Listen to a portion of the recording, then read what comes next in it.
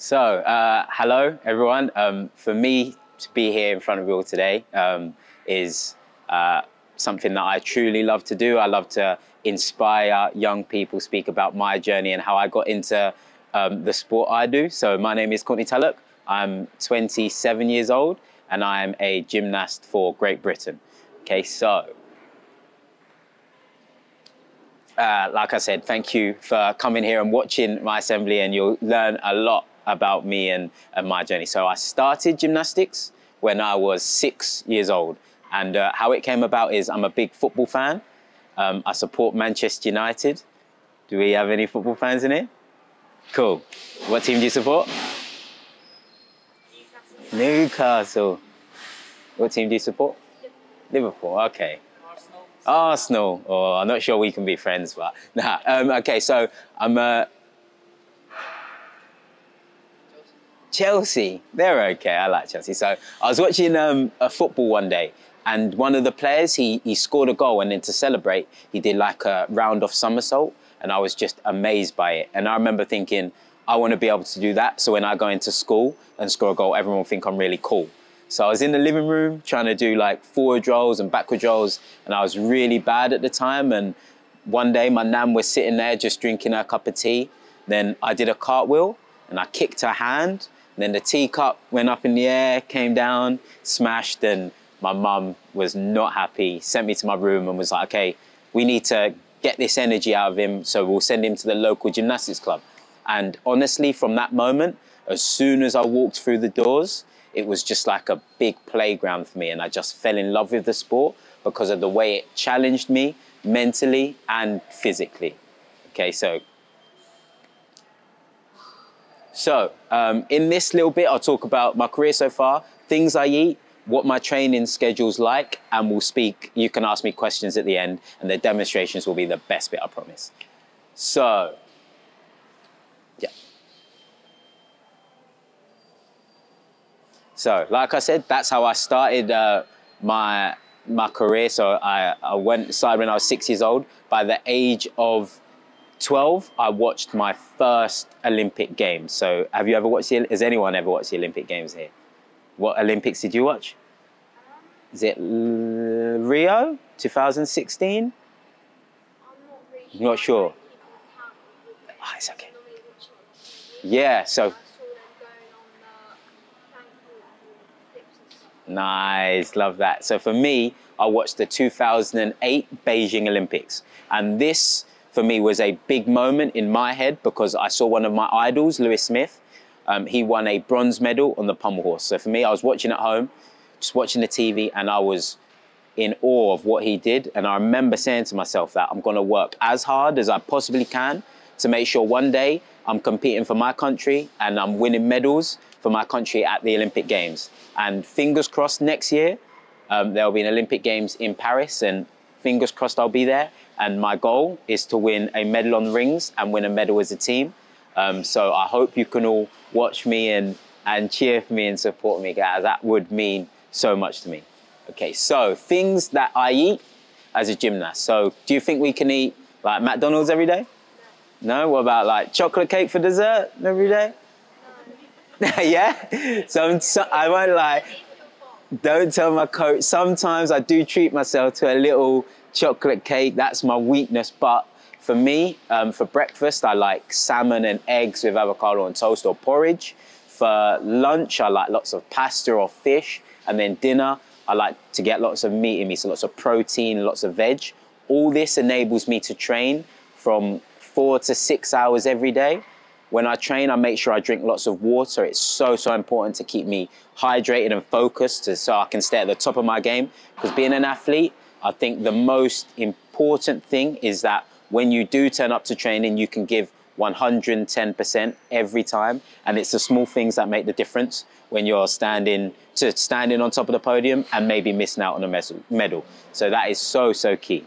So these medals that I've brought with me, I know I've seen a few of you already, but okay, so like I said, my my dream and my goal is to get to the Olympic Games. But unfortunately, in 2016, um, I worked so, so hard. I didn't miss a training a session in four years. I made sure I was eating correctly. I was listening to my coaches.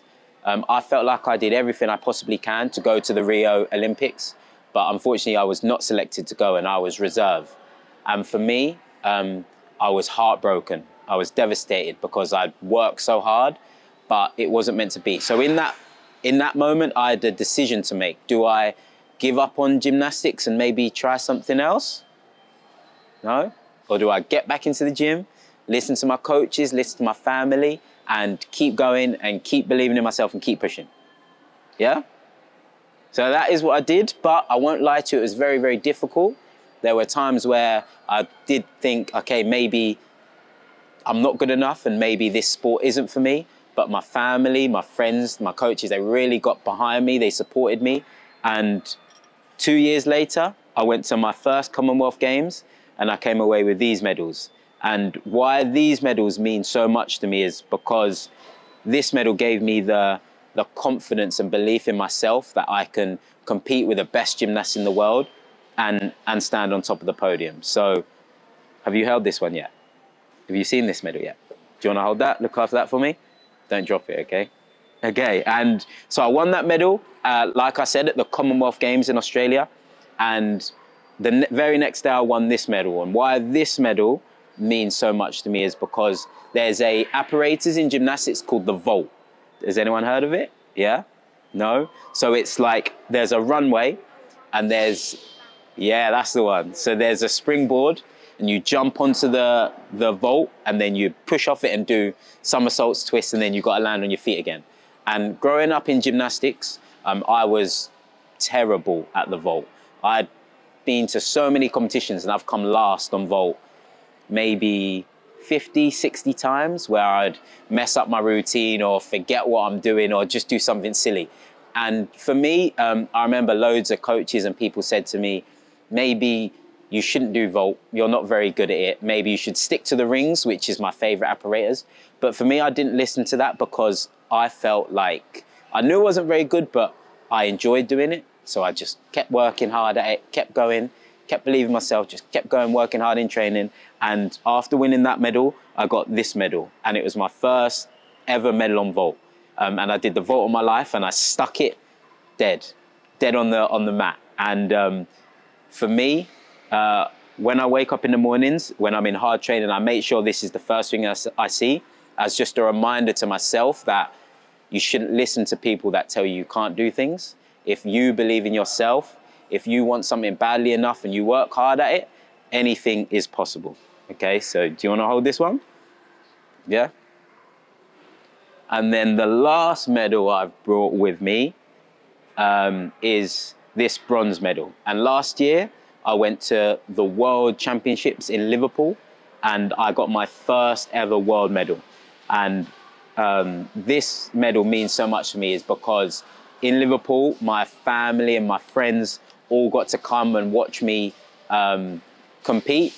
And normally the competitions are in other countries like Australia, and it's a long way to travel. To, so to have all my old school teachers, my family, my friends there supporting me, and to win this medal in Liverpool, it's just very, very special. So you can hold that, look after that for me.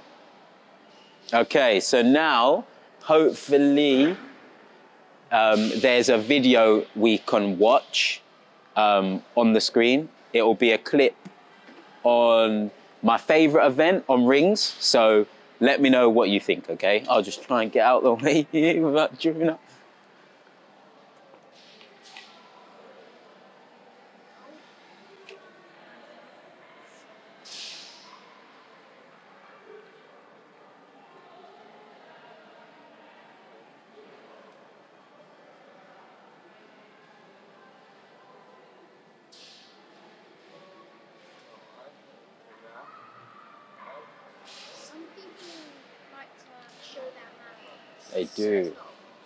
You know what? You know, you know some stuff, you.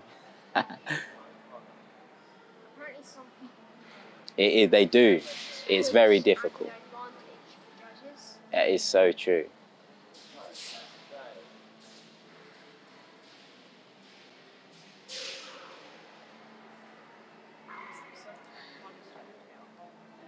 false.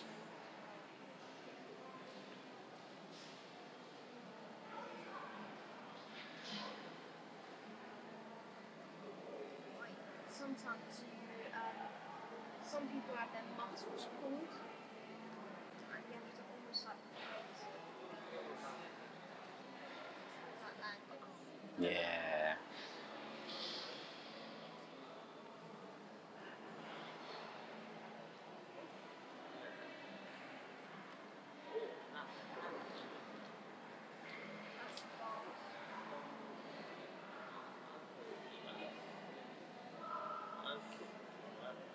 That's false. Cool. So, what do you think? 9 out of 10? 10 out of 10?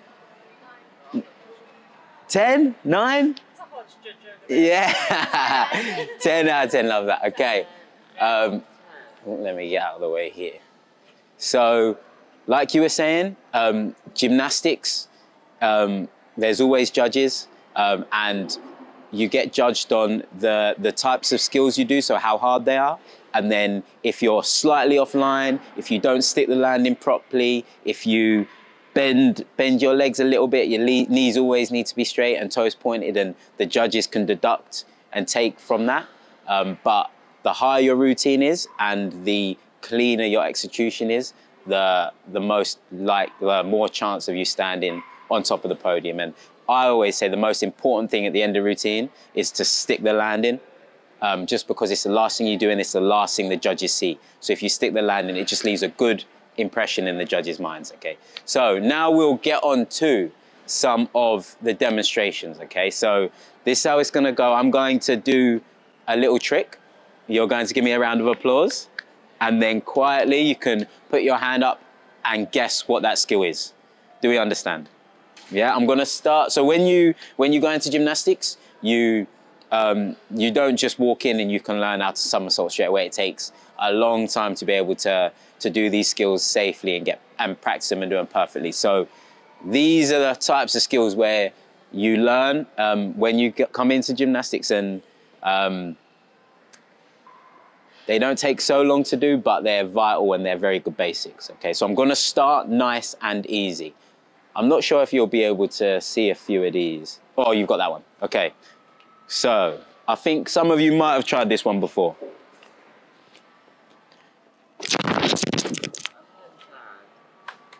Thank you. Okay, what skill was that? Hand up. What was the first one you said? Forward roll, perfect. Have you, anyone ever tried a forward roll before? Couple? Okay. Next trick.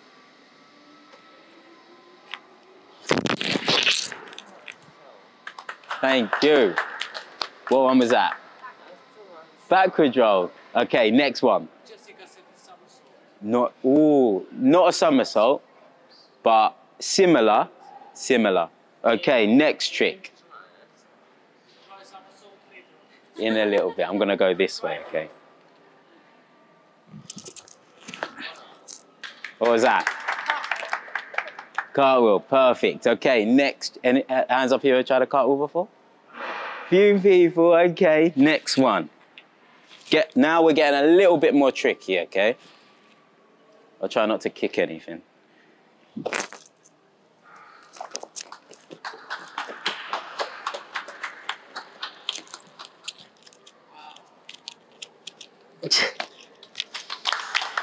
okay, what was that? Do you know? Wow, nice, perfect. Okay. Next trick. Okay, so the scariest thing in gymnastics is to somersault backwards because you can't really see where you're going. Um, and it takes a long, long time to, to, to learn and do safely, especially on, on hard ground. Um, so I just say this all the time. So um, if I do this, you will have to promise me, especially the teachers, you're not going to go and just throw this skill and try it. Okay? Because it takes a long time to do safely. Promise? Okay. Do we all promise? Okay. You ready?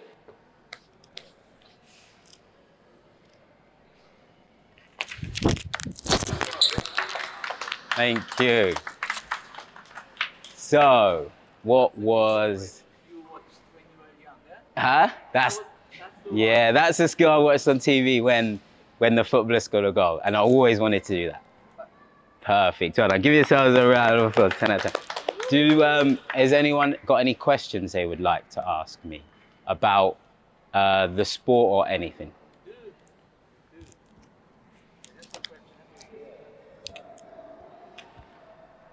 How long do you have to train? How long do I have to train? So um, now I train from four to six hours every day.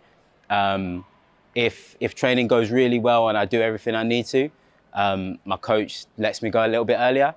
But if I struggle with a few things or I need to work even harder, or when I come back from holiday and I've had too many fizzy drinks and stuff, things like that, then I'll be in training, doing more fitness um, and exercises to get fit again. But roughly about four to six hours every day. This question was, Oh yeah. and he said if you weren't uh, gymnastic, gymnast, what would you be doing? if you were? Um, if I weren't a gymnast, I've always loved sport, so I'd like to think it would be in sport. But um, I'd love to have been a footballer, but I don't think I was very good when I was young. But maybe athletics. I think maybe in sprinting, or I'd love to maybe I've done a bit of acting, maybe a movie star or something. But I'm not sure if I'm any good. And uh, some more questions. There were two children yesterday who they not in today because they they discharged. Yeah. Oh. yep. They said, how have you learned to do all this gymnastics? How have I? You learned. So it just takes so some of the uh, the first skills I showed you when you go into gym, you learn the the smallest skills, and they help you progress into the bigger skills. Um, but it takes a very long time to to be able to learn these skills. But um, for me, when I joined gymnastics, I just found it all fun. Um, the coach made it into into like a game where you're competing against each other and you're with a team of people. So you're all learning, training together. It's a little bit like um, when you come in and you're in school together and um, you have fun and play games. It's a little bit like that. And then as as when I started and when I was a bit younger, I never really thought about competing for my country or anything like that until I watched the Olympic Games. So when I first joined, it was just all fun um, for me, learning tricks, doing double somersaults, um, swinging off rings and swinging off the bars was just something that um, I really enjoyed doing. And that feeling I get from it is just like uh, the best feeling in the world for me. Oh, sorry. and I finish. Yeah. What is your favorite drill? What is your favorite thing you like to do when you are in championship or Um, so for me, com- in the in gymnastics, my favorite thing is competing.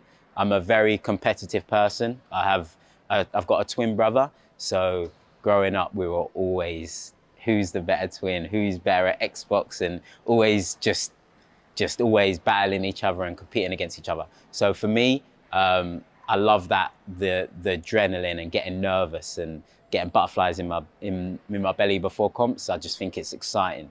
Um, so for me, competing is something that um, I truly truly love. Yes. Um, yeah. No, I think it's just gold plated. I'm not sure. I've not been asked that before. I don't, I don't. No, I don't think it's real gold, but it's a real gold medal that I that I won. I promise.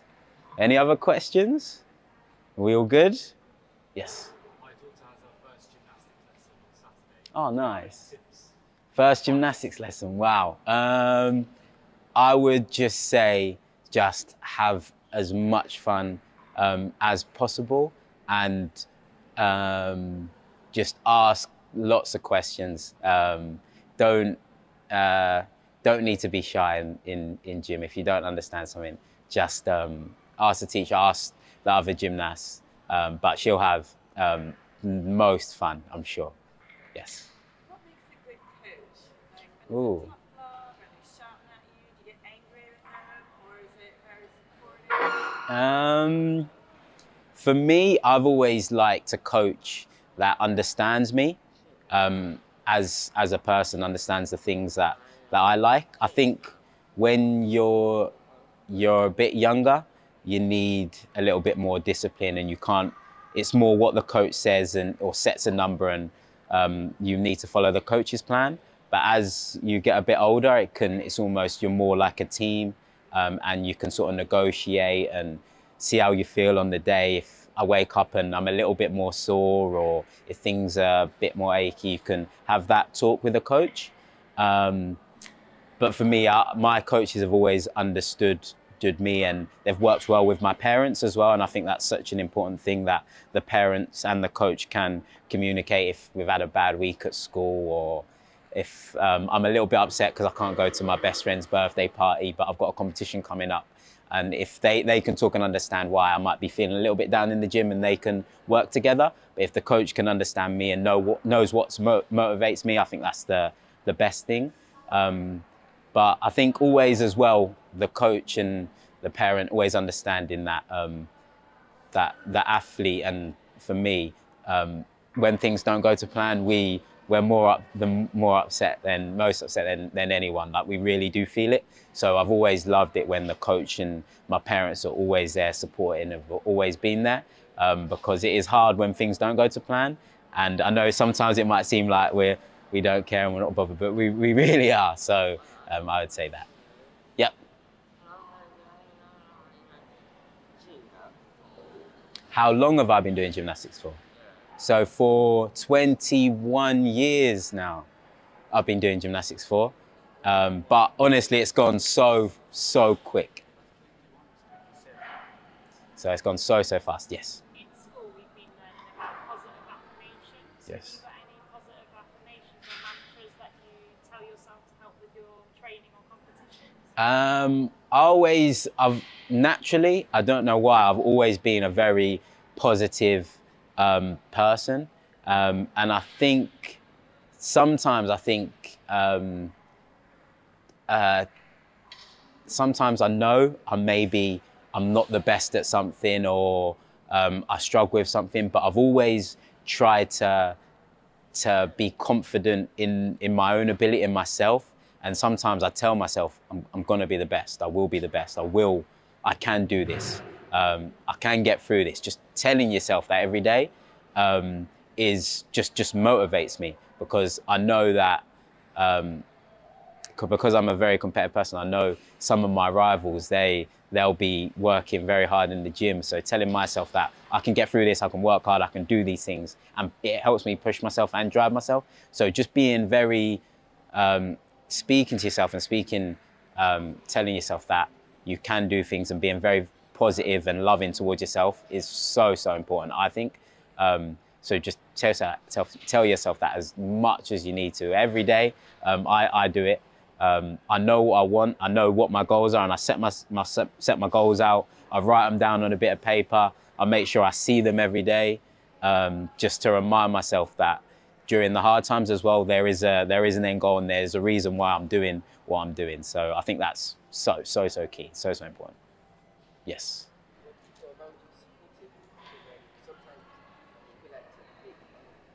Sorry, say that again. Yeah, people around you, supportive? Because you know, people are just making fun of people. Yeah, that's that that happens. Um, I think growing up, when I was younger as well, gymnastics. A lot of people were like gymnastics. That's for girls. Like, why are you doing gymnastics? Um, and things like that. And you do get people that are negative and can't really see your journey and are not supporting you. But um, for me, that's not nothing to do with you. That's on them. I think you need to focus on what you're doing and what you want, because because at the end of the day, that's that's all that matters. Um, so I wouldn't want when people do say it, it all happen. So when people are a little bit negative and when people do say things, you just got to brush it off and not listen, and because that's not important. The most important thing is what you believe in, and if you believe in yourself, you work hard enough, you you make the right sacrifices, whatever it is you want to do. Um, if you can do that, then you'll be absolutely fine. Don't worry or listen to what other people have to say. Cool. We all good? Anything else? One more. Yes. Next year, you're gonna compete. Do you wanna tell us about that? Where you, we're gonna see you? Yes. So next year, um, in in the summer, will be the uh, Paris Olympic Games, and um, my my like I told you, my dream and my goal is to be standing um, on the podium, winning a medal at Olympics. So uh, I'm going to do everything I can to make sure that I'll be there. And like I said, I'd love for you all to, to tune in, watch me on TV, um, and, and support me. Um, and I look a little, I look uh, quite a bit taller on TV for some reason, but I might look a little bit different. But uh, yeah, I'll be there and um, I'll try my best and work as hard as I can to, to win a medal for the country. So thank you. Cheers. Thank you.